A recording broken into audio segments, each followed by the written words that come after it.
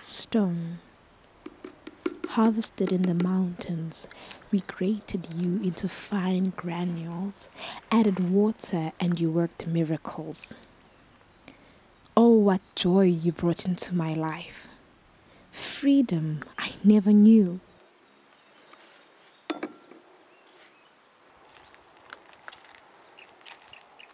I grew up in Sikisiki in the Eastern Cape. When they describe it, they say it's a one street town.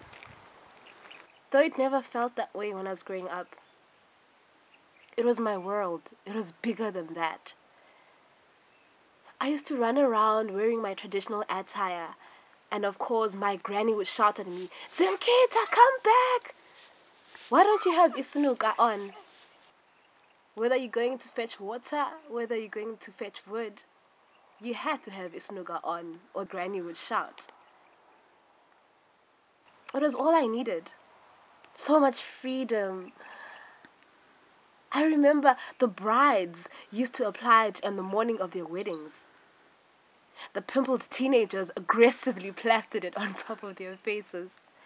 And of course, the toddlers were caught with stains of Isinuka all over them their butt cheeks, their hair. I can't tell you how many memories I have of you. A pride of my people's medicinal knowledge.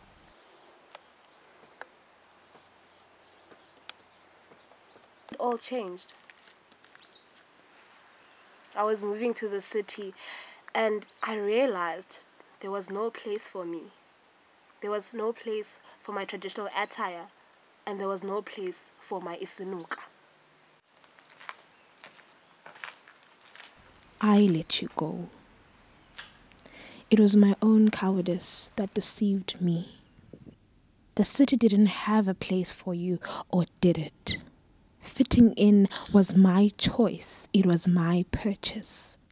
And now, this all sounds like a dream. Distant, a hazy memory, a past I still am in love with.